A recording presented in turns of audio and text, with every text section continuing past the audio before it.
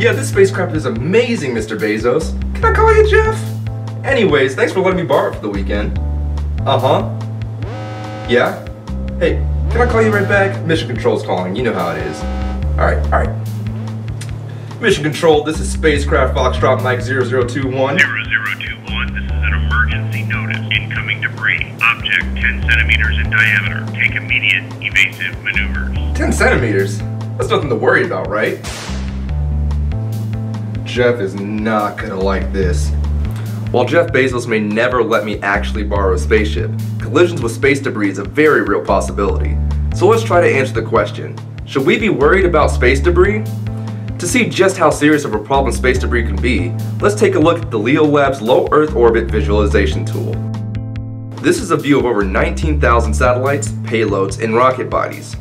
And this is the same view but with all trackable debris in low Earth orbit. While not to scale, trackable debris as small as 10 centimeters in diameter can cause catastrophic damage to other spacecraft. Such an event was narrowly missed by the International Space Station after Russia conducted an anti-satellite missile test, which created 1,500 pieces of trackable debris. Astronauts on board the ISS were forced to take shelter while passing through the debris field multiple times. According to a 2006 NASA orbital debris study, quote, without environment remediation and the wide implementation of existing orbital debris mitigation policies and guidelines, the risk to space system operations in near-Earth orbits will continue to climb. With all that being said, what's being done to help mitigate the growing issue? Lucky for you, Flying was invited on an exclusive look inside Northrop Grumman's Space Logistics facility outside Washington, D.C. to take a look at the technology it's developing that could eventually help solve the problem. We spoke with Space Logistics President Robert Hauge about the mission extension vehicles that could keep satellites from falling out of their orbits. And the longer companies can keep their satellites operational, the less they have to send new ones to replace them.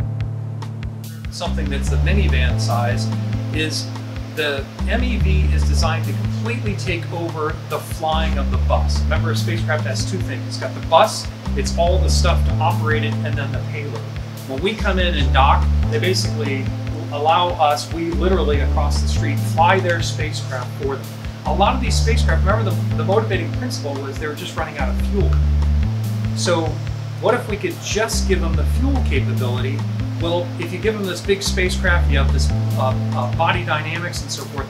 If we just need to give them electric propulsion to do what's called SK, to do this station keeping, we talking about this, this north, south, east, west, we can get down to something the size of a dishwasher. And that's the mission extension pod. Even though Northrop Grumman is working to keep satellites in orbit today, the team there says this technology could be the basis for space junk removal in the near future. Do you have a question for flying?